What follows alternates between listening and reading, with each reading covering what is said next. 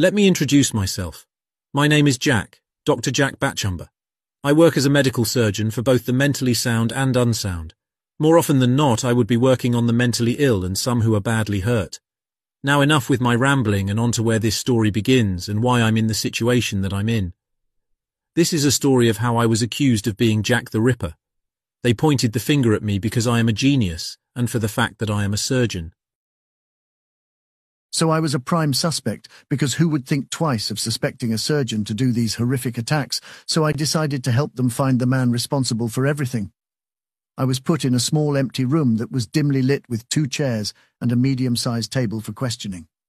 Two officers came in shortly after, and one of the officers was a tall, gauntly, clean-cut-looking man, while the other was a short, rounded man with mutton chops with an English moustache.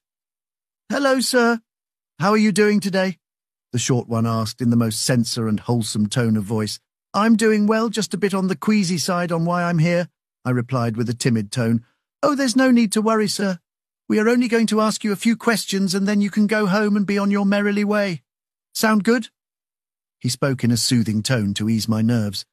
Okay, I'll answer to the best of my abilities, I reassured him.